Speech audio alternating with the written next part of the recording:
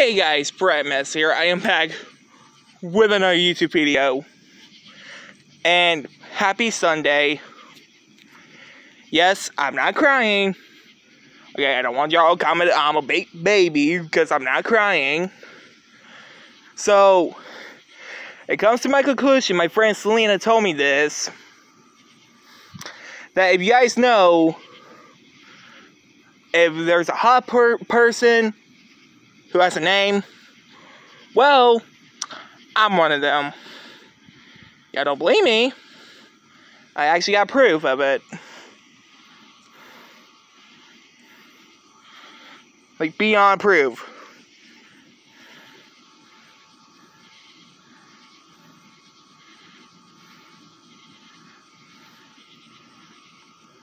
I don't know if y'all can see that or not. Hottest male names. Am I losing my mind?